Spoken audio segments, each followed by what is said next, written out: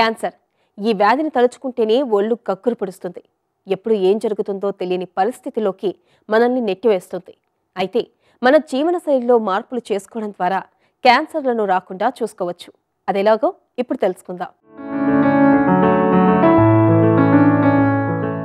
మనం ఆరోగ్యంగా ఉండాలంటే మనం ఆరోగ్యకరమైన జీవనశైలి పాత్ర ఎంతో ముఖ్యమైంది.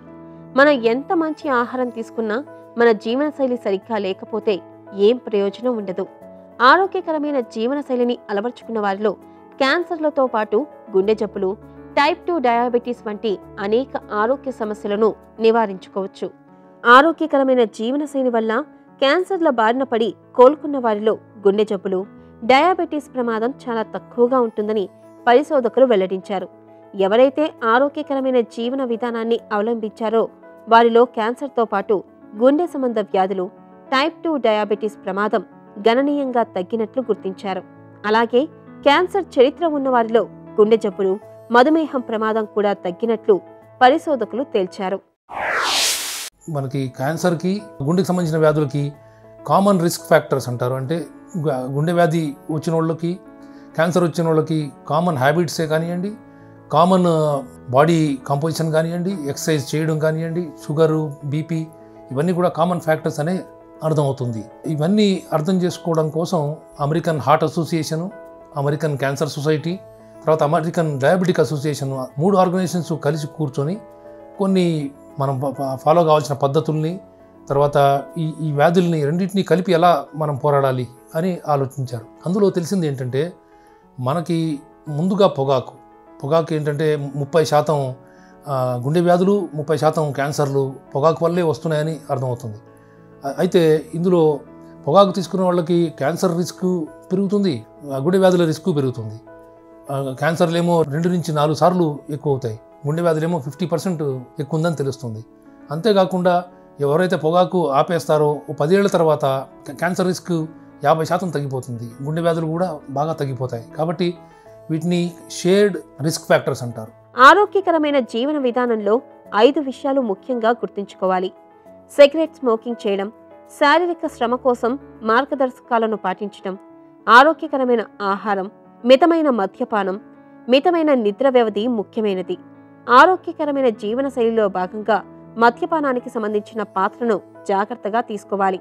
ఎందుకంటే అన్నీ సక్రమంగా ఉండి మద్యపానం సేవించడం ఎక్కువైన పక్షంలో ఎంత మంచి ఆహారం తీసుకున్నా ఎంత బాగా శారీరక శ్రమ చేసినా ఫలితం ఉండదు.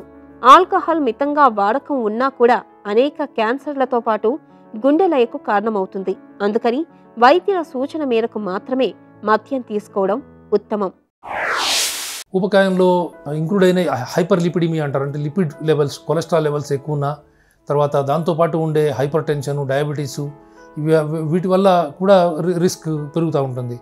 క్లియర్గా మనకి ఐసీయూ అడ్మిషన్స్ క్యాన్సర్ హాస్పిటల్లో కార్డియాక్ హాస్పిటల్లో చూస్తే తప్పకుండా ఊబకాయం ఉన్నోళ్ళే ఎక్కువగా ఉంటారు. సో ఊపకాయంతో మనకి డైట్ ఎక్కువ తీసుకొని ఎక్సర్సైజ్ చేయకపోవడం మెయిన్ కారణం అవుతుంది. ఇప్పుడు అమెరికాలోనే చూస్తే ముప్పై శాతం మంది ఏ రోజు జీవితంలో ఎక్సర్సైజ్ చేయట్లేదని అర్థమవుతుంది. ఇండియాలో అటువంటి డేటా లేకపోయినా మన దాంట్లో యాభై అరవై శాతం మంది అలాగే ఉంటారనేది మన నమ్మకం. కాబట్టి ఎక్సర్సైజ్ ఫిజికల్ యాక్టివిటీ కూడా చాలా ఇంపార్టెంట్. నాలుగోది పువర్ న్యూట్రిషన్ అంటారు. పువర్ న్యూట్రిషన్ అంటే అంటే బాగా డబ్బులున్న వాళ్ళు ఎక్కువ మంచి తిండి తింటారని మాత్రం అనుకోకూడదు. ఇందులో మిక్స్డ్ డయట్ అంటారు. అంటే దీంట్లో ఏడు కాంపోనెంట్స్ ఆఫ్ డయట్ ఉంటాయి. అందులో ఐదన్నా ప్రతిరోజు తీసుకున్న వాళ్ళకి అది నార్మల్ న్యూట్రిషన్ అంటారు. అది లేనప్పుడు క్యాన్సర్స్ తర్వాత హార్ట్ డిజీజ్ కూడా బాగా పెరిగినాయి అనేది మనకి తెలుస్తుంది. మీకు వచ్చిన క్యాన్సర్ ఏదైనా అది తగ్గిపోయినందుకు సంతోషపడడం మాత్రమే సరిపోదు. దానికి సంబంధించిన మీకు అంతకుముందు అలవాట్లు పొగాకుంటే కంప్లీట్గా వదిలేయాలి. ఒబిసిటీ అంటే less than twenty five BMI అంటారు. బాడీ మాస్ ఇండెక్స్ మెయింటైన్ చేయాలి. మంచి ఫిజికల్ యాక్టివిటీ చేయాలి. ఫిజికల్ యాక్టివిటీ అంటే మామూలుగా ఏమంటారంటే అట్లీస్ట్ వారానికి మూడు రోజులు నూట యాభై నిమిషాలు మైల్డ్ యాక్టివిటీ కానీ డెబ్బై ఐదు నిమిషాలు సివియర్ యాక్టివిటీ కానీ సివియర్ ఎక్సర్సైజ్ కానీ చేయాలి. ఆ తర్వాత గుడ్ న్యూట్రిషన్ అంటే మీకు five out of seven components at least బాడీలో ఉండే కార్బోహైడ్రేట్ ప్రోటీన్ అన్నీ కలిపితే ఫైవ్ కాంపనెంట్స్ అన్న రోజు కన్జ్యూమ్ చేయాల్సిన అవసరం ఉంటుంది. తర్వాత హైపర్ లిపిడిక్ మ్యాస్ అంటారు. అంటే more than two hundred cholesterol ఉంటే దాన్ని కంట్రోల్ చేసుకోవాలి. More than hundred fasting blood sugar ఉంటే అది అది కంట్రోల్ చేసుకోవాలి. తర్వాత ఆల్కహాల్ని కంప్లీట్గా అవాయిడ్ చేస్తే మంచిది. శరీరానికి కావాల్సిన ప్రోటీన్లు కార్బోహైడ్రేట్స్ విటమిన్లు సూక్ష్మ పోషకాలు మనం తీసుకునే ఆహారంలో ఉండేలా చూసుకోవాలి. సమతుల ఆహారం తీసుకున్నప్పుడే ఆరోగ్యంగా జీవించగలుగుతాం. మధుమేహం రక్తపోటు ఎన్ని జాగ్రత్తలు తీసుకున్నా వయసును బట్టి వస్తున్నాయి.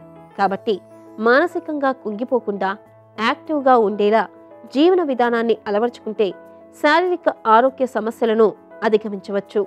నడక ఇరుగు పొరుగు వారితో స్నేహంగా మెలగడం పాజిటివ్ థింకింగ్ అలవర్చుకోవడం వంటి వాటి ద్వారా ఆరోగ్య సమస్యలకు దూరంగా ఉండవచ్చు.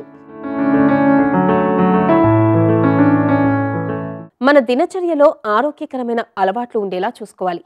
శరీరానికి అవసరమైన పోషకాల్ని వ్యాయామాన్ని అందించడంపై దృష్టి సారించాలి మానసికంగా సంతోషంగా ఉండడం అలవాటు చేసుకోవాలి. ఇలా మన జీవన విధానం ఎంత ఆరోగ్యకరంగా ఉంటుందో అంతే ఆరోగ్యంగా మనం ఉంటామని గుర్తుంచుకోవాలి.